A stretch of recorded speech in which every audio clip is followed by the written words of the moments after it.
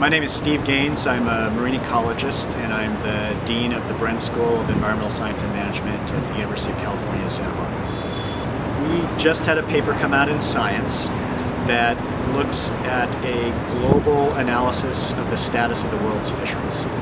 And given how important fisheries are as a source of food for people and livelihoods for millions of people around the world, you'd think we know a lot about the status of the world's fisheries. But in reality, most of our understanding about how well fisheries are doing comes from a minute fraction of fisheries, the ones that are large, that are very valuable, and where you can afford to collect a lot of information about how well they're doing. That's a few hundred fisheries out of over 10,000 global fisheries.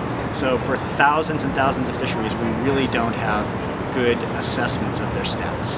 This paper develops a new approach uses readily available information, how many fish we're catching, some simple characteristics of their biology, to come up with a new way of assessing how many fish are in the ocean. And then we can use that to compare how many fish we want to be in the ocean to achieve conservation goals, to achieve maximum levels of food production, to achieve, to achieve sustainable livelihoods for local people. What we found is that if you just take the median fishery, the middle fishery from thousands of fisheries around the world, we're only at about a little less than two-thirds of the number of fish in the ocean that we would want to have to be able to have that maximum productivity.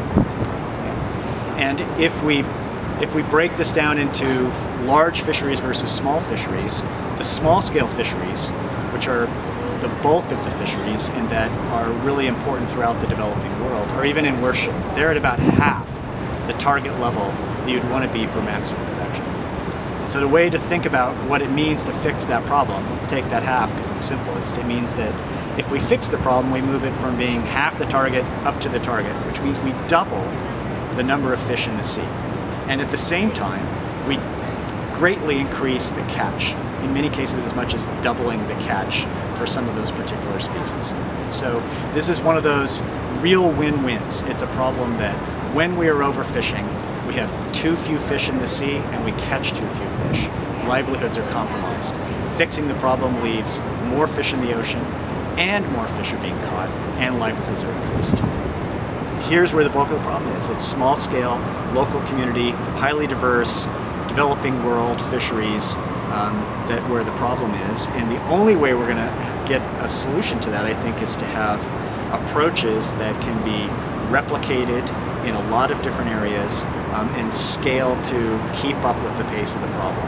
And so it's, it's exactly in line with what RARE's skill set brings to the table here in terms of inspiring uh, conservation, in terms of being able to get local communities engaged in changing the way they interact with the sea. And the combination of putting in more rights for those local communities um, with protected areas that provide benefits both to conservation and to the fisheries, I think is a, is a tool that is, is the only kind of tool that I think we have that can scale to the level of the problem. So it's so that's where I think this is a is a perfect fit.